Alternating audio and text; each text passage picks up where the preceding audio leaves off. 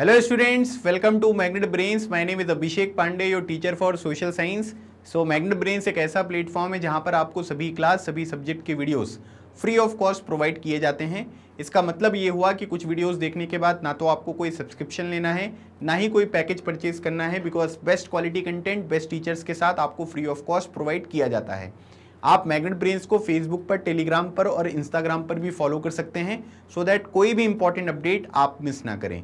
सो आज का जो हमारा सेशन होगा, ठीक है minerals and power resources chapter का, इसमें हम यूजेज ऑफ़ मिनरल्स के बारे में बात करेंगे, ठीक है? मतलब मिनरल्स का क्या क्या उपयोग होता है उसके बारे में डिस्कशन यहाँ पर करने वाले हैं। इससे पहले वाले वीडियो में मैंने आपको डिस्ट्रीब्यूशन बताया था कि कौन कौन से कॉन्टिनेंट में किस किस तरीके के जो मिनरल्स हैं वो यहाँ पर अवेलेबल है। ठीक है? तो आई होप सारी चीज़ें आपको क्लियर हो गई होंगी और किस तरीके से आपको चीज़ों को याद रखना है, ये चीज़ भी आपको पता होना ज़रूरी है कि रिविज़न अगर हम करेंगे तो जो भी मिनरल्स जहाँ जहाँ पर भी प्रेजेंट है वो आपको याद रहेंगी। और जो भी पॉइंट मैंने आपको हाईलाइट किए हैं ना कि भाई, ये आपको याद रखने हैं तो वो चीज़ तो आपको बिल्कुल याद रखनी है। तो मिनरल्स के यूजेस क्या हैं? एक क्वेश्चन आ सकता है तीन नंबर का, पाँच नंबर का। तो चार पाँच पॉइंट यहाँ पर मैं आपके साथ डिस्कस कर लेता हूँ, ताकि आप मिनरल्स के यूजेस को अच्छी तरीके से यहाँ पर डिफाइन कर सकें। अब यहाँ पर अगर आप देखोगे तो यहाँ पर मिनरल्स का जो है, वो अलग अलग तरीके की इंडस्ट्रीज़ में यहाँ पर यूज़ होता है, ठीक है? चाहे वो आयरन वाली इंडस्ट्रीज़ हो स्टील वाली इंडस्ट्रीज़ हो, है ना? या फिर कोई जो है आप ये कह सकते हैं कि लाइम स्टोन वगैरह वाली जो चीज़ें होती हैं इंडस्ट्रीज़ होती हैं, वहाँ पर आप उसका यूज़ करते हो। फिर उसके बाद अगर आप देखेंगे कि कई सारे जो मिनरल्स होते हैं ना, उनको जेम्स मतलब जेम्स मतलब आप ये कह सकते हैं कि मोती वगैरह जो होते हैं ना, जैसे थोड़े से स्टोन वगैरह जो बहुत प्रीशियस यहाँ पर होते हैं, बहुत महँगे होते हैं तो उनको ज्वेलरी वगैरह में भी हम यहाँ पर यूज़ करते हुए देखने को मिलते हैं। फिर उसके बाद अगर आप देखोगे तो कॉपर जो होता है, ठीक है कॉपर को भी हम एक मेटल मेटल है कॉपर, है ना? और इसका भी अगर आप देखोगे तो बहुत सारे अलग अलग तरीके के यूज़ होते हैं, जैसे क्वाइन हो गए या पाइप्स वगैरह बनाने में भी आप देखोगे तो यहाँ पर इसका यूज़ होता है, ठीक है? जैसे आपने एक चीज़ और सुना होगा, है ना? एक होता है ब्रॉन्ज मेडल है ना? तो ब्रॉन्ज मेडल जो है वो कैसे बनता है? तो उसमें कॉपर और जो आपका टिन होता है, ठीक है? इसको मिलाकर जो है वो क्या बनता है? ब्रॉन्ज मेडल बनता है। फिर आपने एक चीज़ और सुना होगा जिसको बोलते हैं पीतल, है ना? जिसको पीतल बोलते हैं, ठीक है? तो पीतल में क्या करेंगे हम लोग? हम लोग कॉपर और जिंक जो है वो यहाँ पर मिलाएँगे, ठीक है? तो इस तरीके की अलग अलग जो आपकी मिश्र धातुएँ होती हैं, है ना? जिसमें एक से ज़्यादा मेटल्स वगैरह को मिलाकर हम चीज़ें बनाते हैं लॉय बनाते हैं तो उसमें भी यहाँ पर इनका यूज़ होता है। फिर उसके बाद अगर आप देखोगे सिलिकॉन है ना? सिलिकॉन जो है वो कंप्यूटर इंडस्ट्रीज़ में बहुत यूज़ होता है है ना? सेमीकंडक्टर है तो इसमें क्या होगा कि आपकी जो अलग अलग तरीके की चिप्स वगैरह होती हैं या इलेक्ट्रॉनिक जो सर्किट वगैरह यहाँ पर बनाए जाते हैं तो उसमें सिलिकॉन का बहुत इंपॉर्टेंट रोल होता है। और एक बात ये ध्यान रखिएगा, सिलिकॉन को हम ऑप्टेन कहाँ से करते हैं? Quartz this is very very important information MCQ में डायरेक्टली ये क्वेश्चन बन जाएगा कि सिलिकॉन को कहाँ से ऑप्टेन किया जाता है? तो आपको याद रखना है कि क्वाड्स से जो है वो हम सिलिकॉन को क्या करते हैं? ऑप्टेन करते हैं। फिर उसके बाद aluminium obtain from its ore bauxite is use ठीक है? याद रखना कि एल्यूमिनियम को कहाँ से एक्सट्रैक्ट किया जाता है तो उसकी जो ओर होती है, उसको बोलते हैं बॉक्साइड। मतलब कि बॉक्साइड मिलेगा, बॉक्साइड को फिर हम इंडस्ट्रीज़ वगैरह में अलग अलग तरीके की ट्रीटमेंट की जो प्रोसेस होती है, उसमें हम यहाँ पर इसको फॉलो करेंगे और फिर उससे हमको क्या मिलने वाला है? एल्यूमिनियम मिलने वाला है, ठीक है? तो याद रखना कि इसमें ऑटोमोबाइल इंडस्ट्रीज़ में, एरोप्लेन वगैरह में, है ना, जो बॉटल वगैरह बनाती है इंडस्ट्रीज़, या फिर जो बिल्डिंग वगैरह, या फिर किचन के जो आपके खाने वगैरह बनाने के सामान वगैरह होते हैं, वो भी यहाँ पर क्या होता है कि एल्यूमिनियम की मदद से यहाँ पर बनाया जाता है।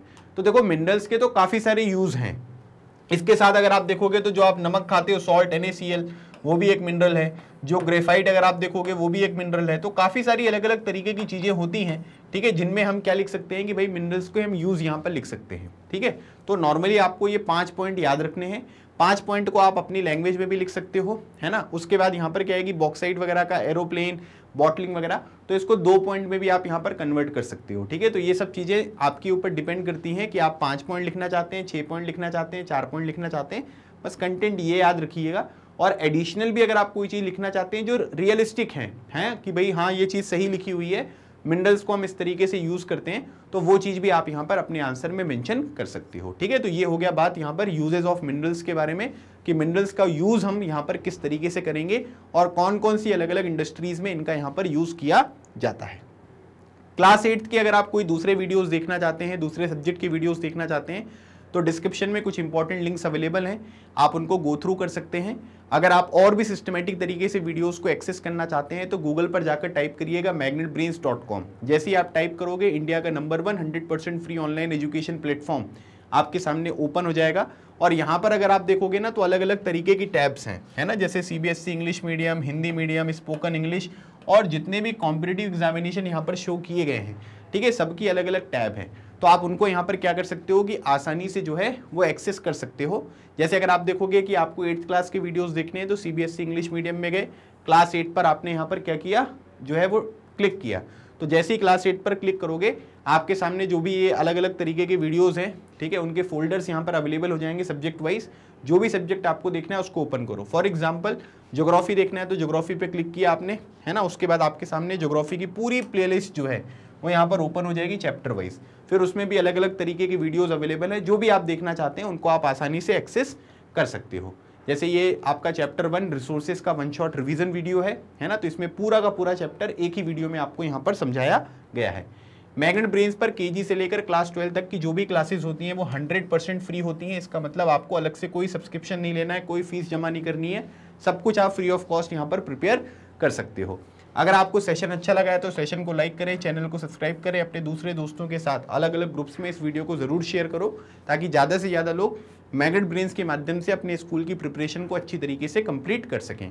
अगला जो हमारा सेशन होगा, उसमें हम बात करेंगे कंजर्वेशन ऑफ़ रिसोर्सेज के बारे में, है ना? मतलब जो भी ये रिसोर्सेज के बारे में बात कर रहे हैं, या फिर जो हम मिनरल्स के बारे में बात कर रहे हैं तो मिनरल्स का कंजर्वेशन बहुत ज़रूरी है, क्योंकि अगर हम उसका एक्सप्लॉयटेशन करेंगे ना तो फिर क्या होगी कि चीज़ें समाप्त हो जाएँगी। तो कंजर्वेशन के लिए क्या क्या मेथड्स यहाँ पर हो सकती हैं, उसको हम अगले वीडियो में पढ़ने वाले हैं। तो मिलते हैं नेक्स्ट सेशन में, तब तक keep smiling and keep preparing लगे रहो एग्ज़ाम क्लियर करो। थैंक यू सो मच जय हिंद।